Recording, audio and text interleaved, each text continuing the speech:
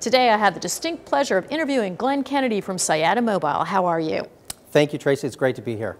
You know what, Glenn? I'm so excited to be interviewing you because right now we are looking on the Canadian markets for the biggest, fastest moving tech play. And right now, when we read the news, everyone's picking you as their number one pick. Tell us why.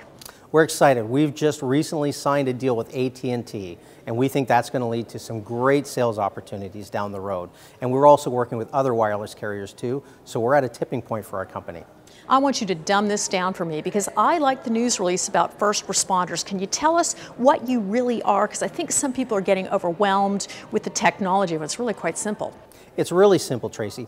First responders really are referring to police officers, ambulance, fire workers, fire, fire, firemen, and they are actually now in the United States. They've created a brand new cellular network called FirstNet just for those people to make sure that they can talk in times of emergencies.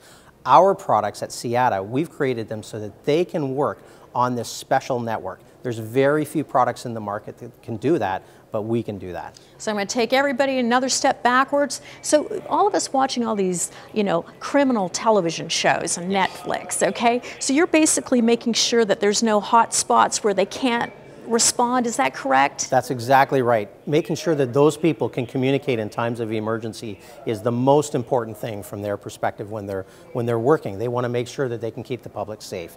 And that network will do that with our products. So we're real excited to be partnering with AT&T to address those customers. And for all you hardcore accredited investors out there looking where to put your money, can you give us some real numbers on why you're going to have shareholders select you first over anybody else?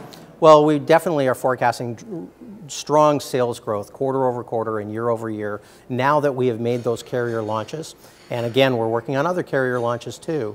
So we see great things coming down the road. We see a, a, sales pipeline that's strong, that has customers ready to sell ready to deploy, ready to trial, and ready still at the prospecting stage. We're seeing lots of great opportunities. So real technology, proven track record, major off, you know, major agreements in place already.